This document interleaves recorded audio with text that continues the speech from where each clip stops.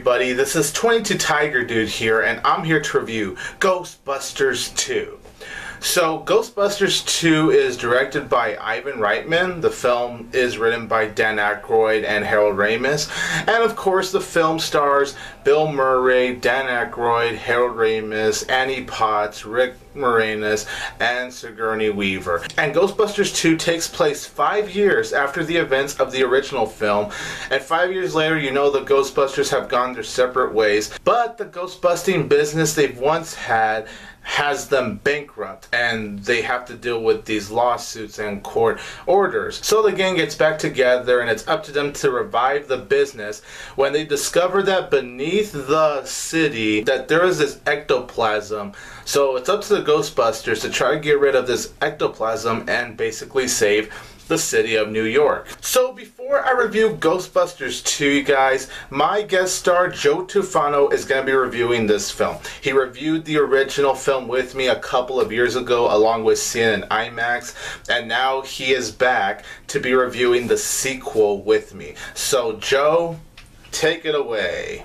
Hey everybody at 22 Tiger Dude's channel, I'm Joe Tufano and thank you Tiger Dude for having me back to review Ghostbusters 2. I talked about the first Ghostbusters on this channel with the Tiger Dude about two years ago for the 30th anniversary re-release of the original Ghostbusters. And with the Ghostbusters reboot coming up soon, yeah, we decided to give our thoughts on Ghostbusters 2, a sequel that some people have debated about over the years. And believe it or not, this was the first Ghostbusters movie that I was introduced to. I wouldn't really consider myself a fan of the franchise, but I think the first Ghostbusters is a pretty good movie, personally. Not my all-time favorite movie, but I could definitely recognize why people list it as their favorite movie. And for years, I never really knew exactly what the consensus was on this movie until I looked up some reviews from people like Oliver Harper or even seen Siskel and Ebert's original review from 1989. People thought at the time that this was just a retread and that everyone was so tired and just the same kind of thing we saw all the time and no charm. And having watched it recently. I, I, watched the movie a few hours ago. I can safely say that this is definitely not as good as the original. I mean, was it ever going to be? A sequel to any movie that's really, really great, like Star Wars or The Dark Knight, it's never going to be as good as seeing that stuff the, the first time around. But then again, anything good could come out of it, and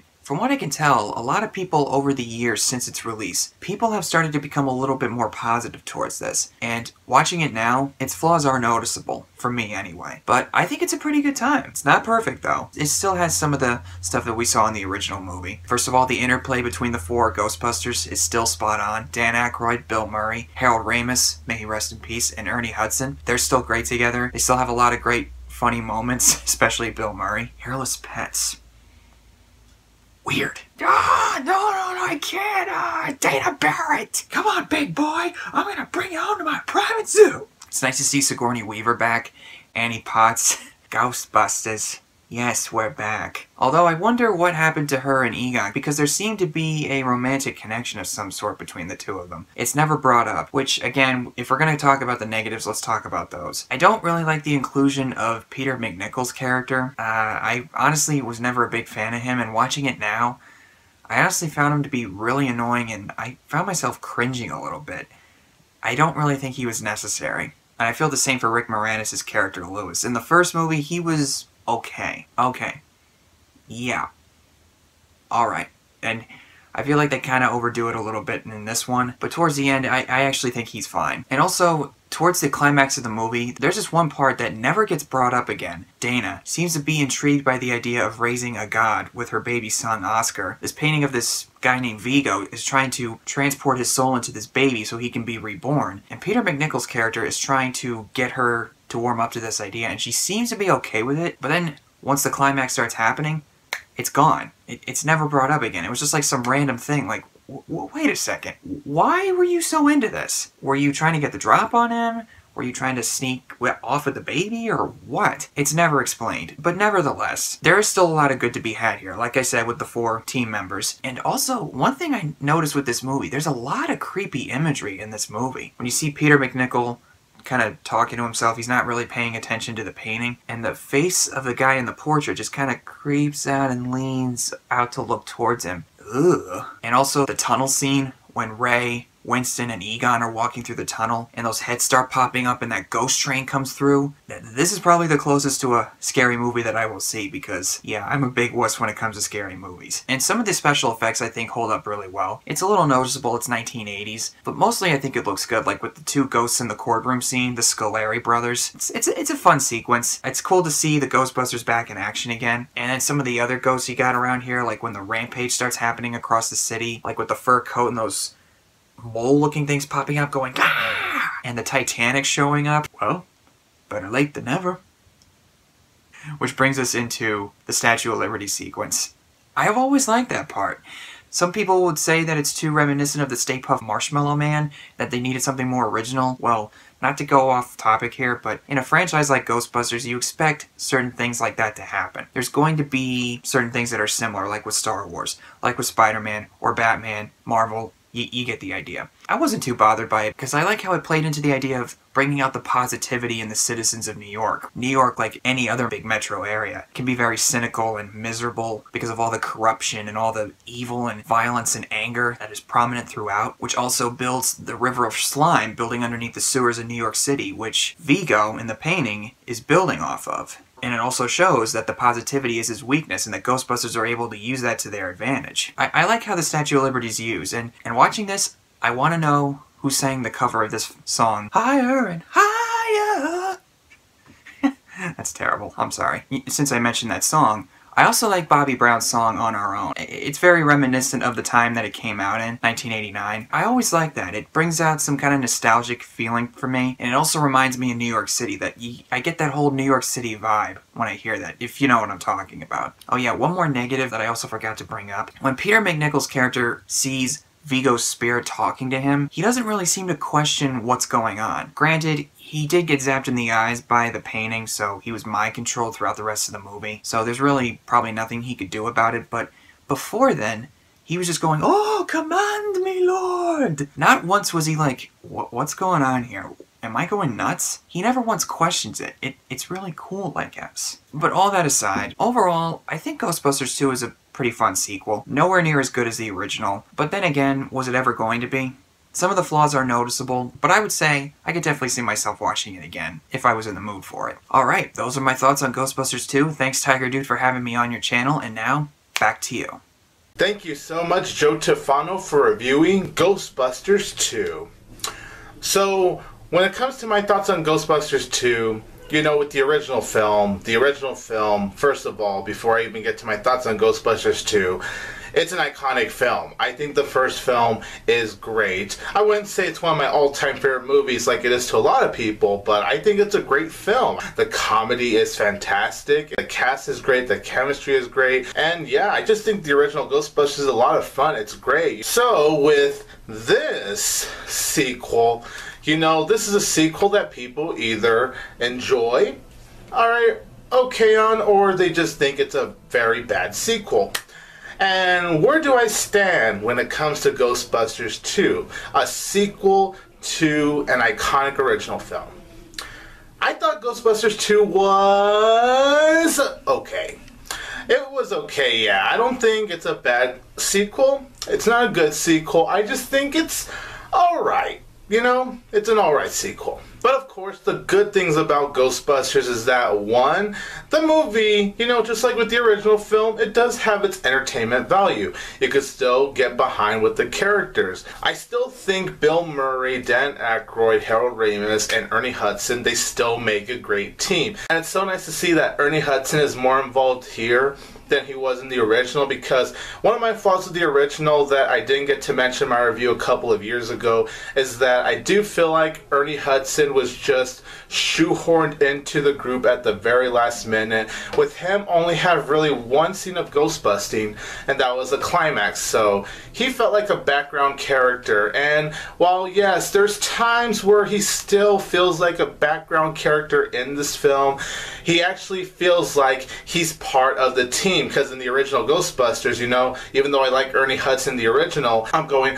all right, Bill Murray, Harold Ramis, Dan Aykroyd, and uh, that that guy over there, yeah, they saved the day. But no, in this one, I'm actually cheering for Ernie Hudson here as well because he's actually more involved here, and I really appreciate that. Sigourney Weaver, I really enjoyed her here. I still really enjoyed Rick Moranis, and I really enjoyed Annie Potts as, of course, the receptionist. As far as these guys go, they still do a very good job giving very solid performances. Cinematography, I do think, is very well shot in the movie. I really enjoy how it was shot shot. It's just like the original film, basically.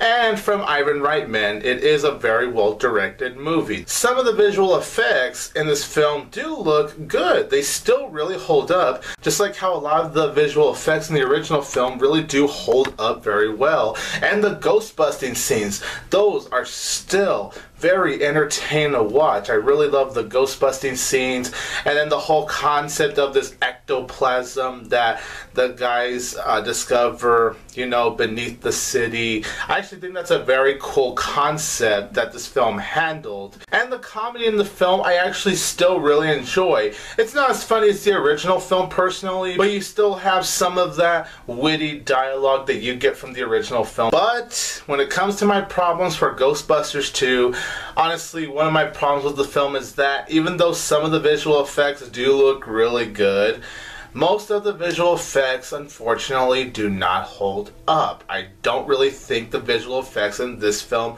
this time around, for the most part, really impressed me. I thought they could have been polished better. In this sequel, some visual effects were really damn good, but for the most part, yeah, I just thought the have looked better, and I kept going, mmm, that could have looked a lot better. Even Slimer. Slimer didn't look anywhere near as good as he did in the original film. And not just that, but he looked really, really different. And you know, just like with the original film, there is like a good 10 to 15 minute section of this movie where I did feel like the pacing was a little bit slow. And yes, while the film does have a different concept from the original film, when I really look at Ghostbusters 2, a lot of the moments feel too familiar with the original film. Like, honestly, it does feel like it's a rehash of the original film, just how certain scenes were executed. Rick Moranis, I didn't think he really needed to be in this film, and I really enjoyed him, you know? I thought he did serve some purpose for the original film, but in this film, even when he's trying to do something at the end, you are going, yeah, even when we get to the climax, he still felt pretty damn pointless. I thought the relationship with him and Annie Potts, you know, the receptionist, didn't really feel like that entire plot was really going anywhere. Sure, were there a few cute scenes dealing with Rick Moranis and Annie Potts? Sure, but I did feel like that plot wasn't really going anywhere. The other problem I had with this film was Dr. Peter.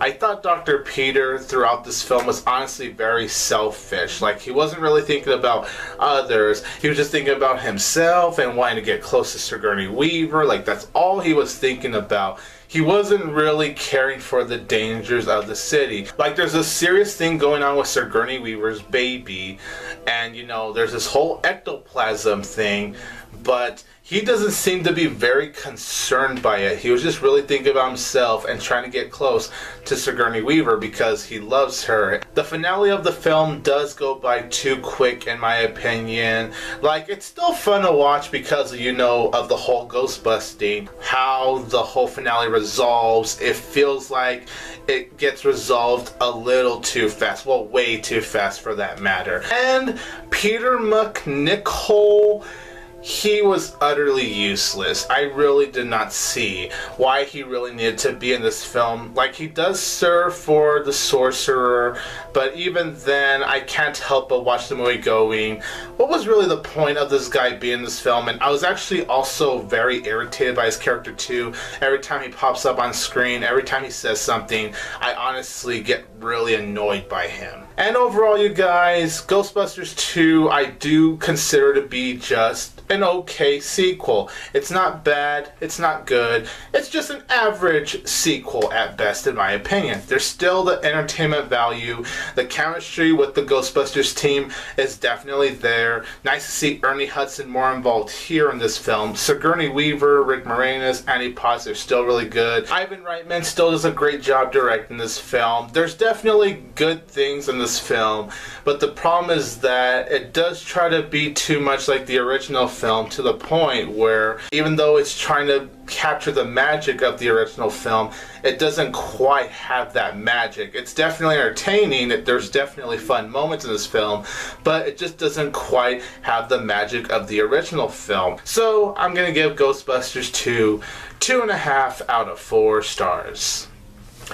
So, you guys, in the comments down below, let me know what you think about Ghostbusters 2 and what you think about Ghostbusters 1984 as well. And I would also love to give a huge thank you to my guest star, Joe Tufano. Joe is such a really cool guy. He does more reviews on his channel, he does podcasts on his channel. So, if you guys want to check out his channel, I'm going to leave a link to his channel in the description down below. This is 22 Tiger Dude here, and don't forget that I will always have Tiger Power!